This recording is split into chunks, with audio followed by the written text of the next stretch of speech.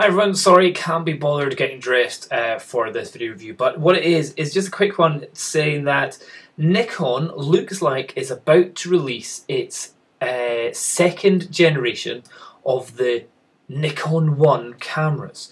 What to do is, I was just on the Nikon Rumors website, which is a great website if you want, well, it's a good website for rumors and also just giving you updates on most kind of buying and selling and prices and things which may be coming out and also just full on rumors. And also, great one if you want to just go and have a look at it and just read the comments of people just constantly just bitching all the time about everything. I, I, I, don't think there's ever been a product that Nikon, Nikon has brought out where everyone's gone, that's fantastic, I love it, it's great. There's always people moaning, nagging, grumping about something uh, on there. So it's always quite a good one. Definitely get the Pringles, get the beer, sit down, and just just read the comments for a good hour because it's, a good laugh and it's a good way to kind of anyway whatever you don't care. What I'm impressed with is that okay, so the J2 is the new version that's coming out. Nikon Rumors has already got the photo out of one, two, three, four, five, six, seven, eight of their cameras, and it's coming out with some pretty nifty accessories. It looks like one being an underwater one, another one with like a screen thing where it looks like we can bring the screen so it's facing you. So what I'm thinking is this might be the future GoPro, as in all my kind of blogging videos. I use my GoPro Hero 2 camera, which I've gone and bought the extra screen for the back, and I've got this kind of skeleton housing, which in total, the camera was 300, the screen was 80 or 90, the case was probably about another 20, um, and a lot of bits I've bought for it, and the microphone probably another 30. So I've probably spent about 450 pounds on my GoPro Hero 2. Nikon, whenever it first brought out its 1 series, I thought was pretty rubbish and overpriced. However, what I have noticed is that they've definitely dropped the price by quite a bit, and its cheaper version, the I think it's a J one, uh, the cheaper version one, yeah, because the V was very expensive and the J was not.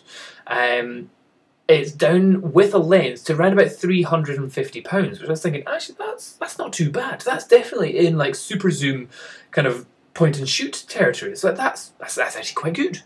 Um, and yet it seemingly got some good rates for like it, its autofocus and, and would be very good for video. So I'm quite keen or interested in how the new one or the second generation comes out.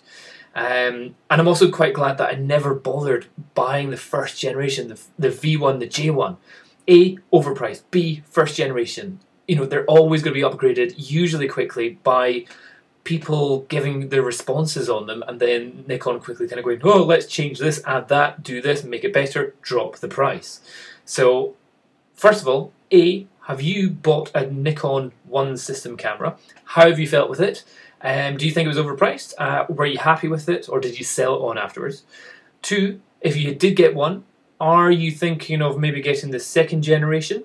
Three, if you didn't get any, like me, are you kind of interested in the second generation? Because have a look at this stuff. It looks like there's going to be ones with like a maybe uh, like a ring light kind of accessory. I don't know if that's going to be a continuous or just a flash.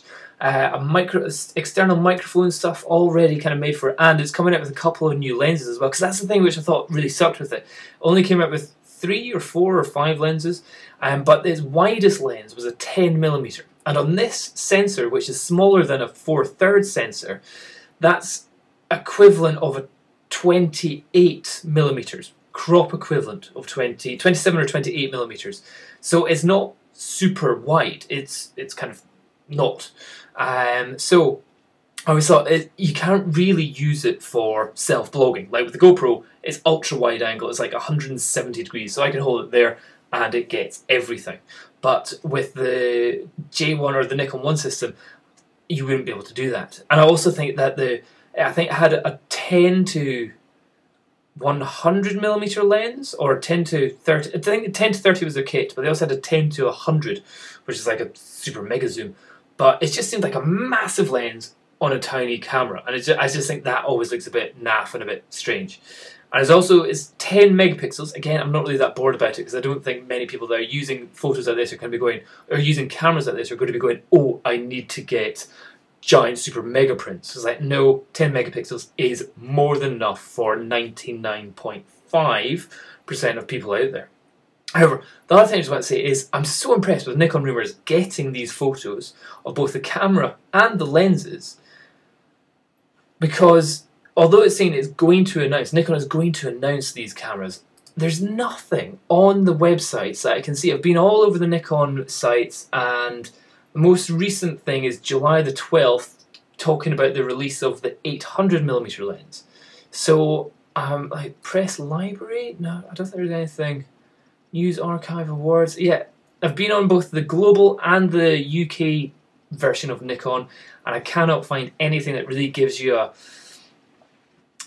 you know, kind of a tempt. Oh, look, we're going to bring something out. It always just seems to be these rumor sites that get the information out to the public before the actual companies do, which I'm kind of impressed with Nikon Rumors, kind of disappointed with Nikon itself, or Canon, or whichever company it is. Doesn't really matter because they all they're all the same. Uh, but yeah, just tell me what you think. What do you think of the new potential J1 future camera, a second generation of the One system? Are you interested in it? And if you are, would you be happy buying it? Let me know what you think. Cheers. Oh, actually, and tell me what features you're hoping that this new generation will have compared to the last one, because I'd be quite interested to know that. Cheers. Bye bye.